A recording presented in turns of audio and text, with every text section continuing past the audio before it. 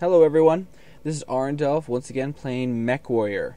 Today I'm going to go ahead and just cover a few things that I missed in the last video, uh, such as uh, we were covering how to unlock modules with GXP, and I just forgot how to uh, purchase them with C-bills. But we'll just quickly cover with the GXP part again. Pilot trees, this is where you unlock them with your GXP. As you can see, uh, you'll find it down here general experience that can be used to unlock skills.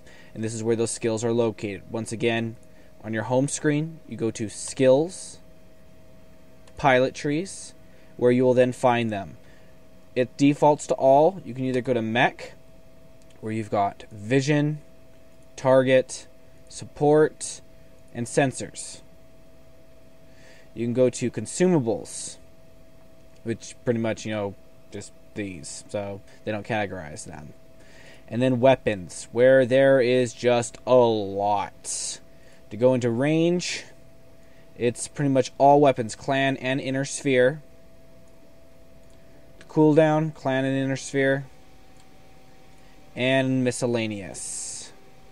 Alright, by the way, the miscellaneous appear to be the one single one where it's not uh, in the weapon category it doesn't matter if they're clan or inner sphere. Once you purchase the either one of these, it benefits both.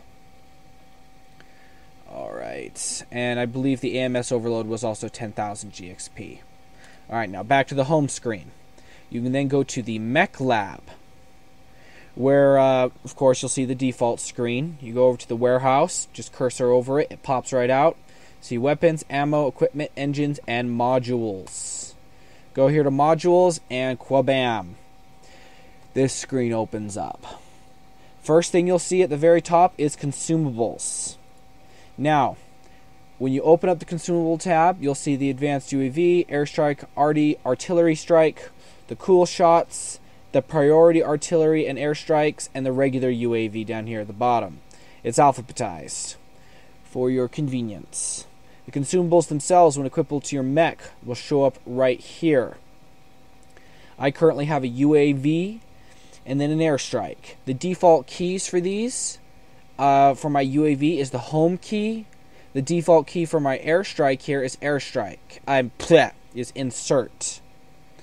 So, for if you haven't modified these keys and you put uh, whatever you want down here on bottom, just remember to deploy it is home. And this one is insert. I have customized these keys, but I got used to the default keys before customizing them. Mech modules. As you can see up here at top, you open that up and you see the 360 target uh, retention. Basically, uh, if a mech runs behind you for a few hundred meters, 200 meters, you can still detect it. It won't much help for locking onto it, but at least you know where the little bugger's at, and you're still detecting that for your allies. I myself haven't actually even bought one of these modules and used it yet, though I have unlocked it. I just I probably should at one of these days just so I can try it out, but as it is, I just don't see much use for it. One of these days I'll figure that out though. The advanced seismic sensor I have actually already put to great use and unlock several of these modules for use across many variants of my mechs.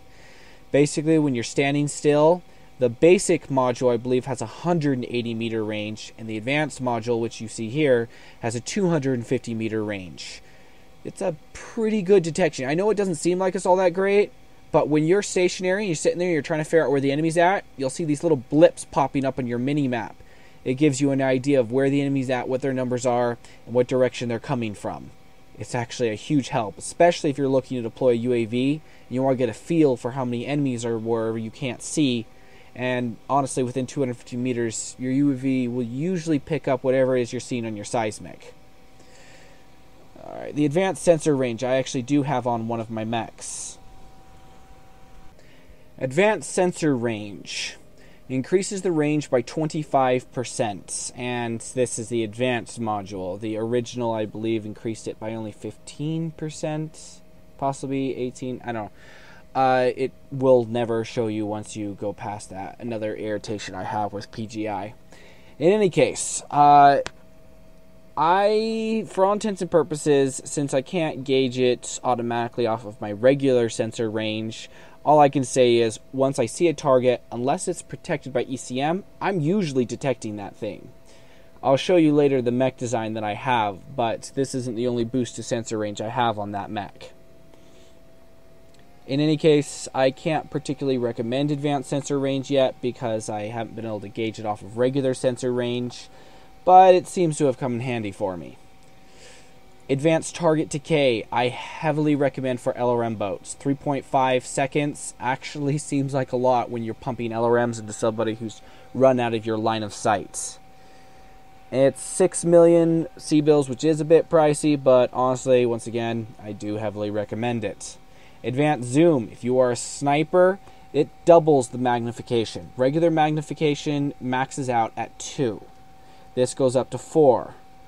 And for snipers, is priceless. My Gauss rifles, my ER PPCs, even ER large lasers. I love the advanced zoom. For 2 million C-bills, it is absolutely worth it. And airstrike accuracy and artillery accuracy, as you can see, I haven't actually unlocked. They have this little symbol right here, so I haven't paid the GXP to unlock them yet. The capture accelerator. Uh, it does slightly, as you can see, it's only a 50% boost. It does slightly boost your capture acceleration. And I actually put it onto my Locust, my Pirate's Bane, that I saved up the MC for. It's, it's alright, you know, especially if you're doing a capture race it does give you that slight boost, which puts you ahead. So um, I would recommend it if you've got like a locust and you just want to fill up an extra slot on it. I've completely mastered all my locusts, so. Hill climb, as you can see, I haven't unlocked it, but for all intents and purposes, it it reduces the deceleration rate of slowdown when navigating slopes. When climbing hills, especially in assault mechs, that would be a huge boon. Improved gyros, I once again heavily recommend. If you're in a brawler mech, such as I have a Battle Master that I've equipped this on, every single time I get into a heavyweight firefight, even though he has all lasers, every time I get hit by ballistics or for that matter missiles, shakes up my screen. Improved gyros actually de- uh, decreases that. Will reduce the amount of screen shake when being hit by enemy fire. Enemy lasers won't do that to you, but frag if ballistics and missiles don't. So it just makes sure that all my shots hit when I do Alpha Strike. Radar deprivation. I heavily recommend this on light mechs. Every time you pass out of the enemy's line of sight, you just vanish right off of their radar. Gone. That is a huge boon. And especially if they have uh, advanced target decay. Advanced target decay, 3.5 seconds it instantly negates that. The moment you're out of their line of sight, advanced target decay doesn't even allow them to hold a lock on you. Shock absorbance, uh, absorb fall damage, the light, medium, heavy, and assault, different percentages. Whether that is uh, it prevents damage up to an extra margin of you know 35% to 20%, or whether it just simply once you actually get to the threshold where you're taking fall damage, it just reduces that amount of damage. Doesn't quite make clear, but I assume that it, the threshold to take damage remains the same. It simply reduces the damage you take. Speed retention 30% faster movement speed when having lost a leg, which is capped at 50 kilometers an hour. Oh, 30% faster is a bit of a huge boon, but light mechs, 90% of light mechs go so fast that once they lose a leg, they're already going to be going 50 kilometers an hour. So you can honestly just make those calculations yourself as to whether or not this would be good on a light mech. As for your other mech classes, well, while it would give a significant speed boost to an assault mech that lost a leg, they don't commonly lose legs in my experience. And there's honestly a lot of better things to put onto an assault mech. So this right here, I classify as next to useless. Speed retention. I can see no actual purpose for it. I mean, if you happen to have bought a module and you have a mech that could use one until you get something onto it that would actually be a benefit to it, I don't see speed retention being something you're like, yes, I want that. Target info gathering. Decrease the amount of time required for detailed target information by 25%. So you lock onto an enemy mech and you want to know what's on that enemy mech. It allows you to get the detailed information for weapons and whatnot 25% faster. As you can see, I haven't unlocked it yet. However, that is something I do look forward to eventually getting. And it only costs 4 million C-bills. Alright. Moving on to weapon modules. Alright, as you can see on this particular uh, mech, my trebuchet, uh, Loup de Gauir, and I'm pretty sure I mispronounced that, but whatever. I have four LRM5s. Out of all the trebuchets, the Loup de Gauir is the one that can actually equip four missile hardpoints. So I decided to do the Reign of Terror with four LRM5s. And while they don't do a whole lot of damage altogether, a continuous stream of them does demoralize enemies. So I decreased the cooldown by 12%, increased range by 10%. Since that's my main weapon, even though an extra 100 meters doesn't seem like all that much, I decided I wanted that. Alright, now, I'm not going to go over the entire range of the mech weapons that you see here. However, for different mechs that you're going to be using, you're going to have different options available to you depending upon the hard points that you have. On this particular mech, I don't have any uh, ballistic hardpoints. However, if I did, you know, it might be something that I'd like to unlock, but it will still allow me to equip the AC20 cooldown and AC20 range, even though I don't have those. So you want to make sure that you actually are equipping the weapon modules that are pertinent to your mech. Okay. Now, as well as I covered in the last video, whenever you unlock a module and then you are purchasing that module, make sure that uh, in the unlocking phase of it that you're actually putting GXP into whatever one that you're using, that being clan or inner sphere.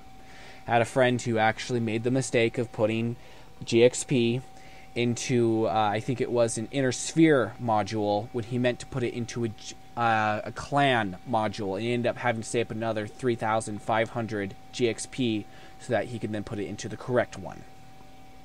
It's a serious pain, and it sucks. As you can see on this mech, I haven't unlocked the uh, master slot yet, which means I haven't completely mastered this mech. But as you can see, I am at 17,000 XP, and will soon have it completely mastered, allowing me to then equip another mech slash weapon module, which will probably end up being a mech module considering the main weapons I have on this thing, as you can see, are LRM-5s. I do have two medium pulse lasers, however, they are hardly the main uh, weapon on this thing. They're backup weapons, especially for close range. And I actually have used them to great effect. Okay, I will cover the design of the, uh, my mechs that I particularly favor in further detail later, but for now, we're going to go ahead and just move on. Alright, I'm going to go ahead and show you. Uh, I've nearly mastered the Timberwolf. You see, I have two of them completely unlocked, as you see by the blue here. I've basic tiered them. Once I get a third and I basic tier it, I will then unlock the elite tier. I'm going to go ahead and go to loadout on this thing so I can show you modules. And I'm going to open up weapon modules. You see the CL on all of these. The inner sphere doesn't have an IS next to all their weapons. I believe that to be a flaw of PGI that they should really designate. That way you're seeing a difference between them more starkly. But just so you know, you'll see the CL on all clan weaponry. And if there's no CL, that means it's an inner sphere weapon. Besides that, mech modules are convertible across the board. If you were paying attention earlier, you saw that I had an advanced zoom module on my last one. If I were to unequip this advanced seismic sensor from this Timberwolf, it would be equipable to uh, any of my inner sphere mechs as well. Mech modules and consumables are usable across the board on all mechs. Alrighty here. And once again, I will cover uh, builds that I favor more strongly across my favorite mechs furthermore in the future. In any case, I do recommend uh, for your different playstyles. As you can see, you can see my ER medium lasers and my large pulse lasers. Do I have any modules to complement those? Yes, I do. My ER medium lasers have a 10% increased range. Once I master this thing, I'll be able to actually, I'll use this definitely for another weapon slot. The Timberwolf has only one weapon slot and one mech module slot, which is unlike my Trebuchet, which had two weapon slots. So, pros and cons, pros and cons. but the Timberwolf is still one of the most pinnacle platforms.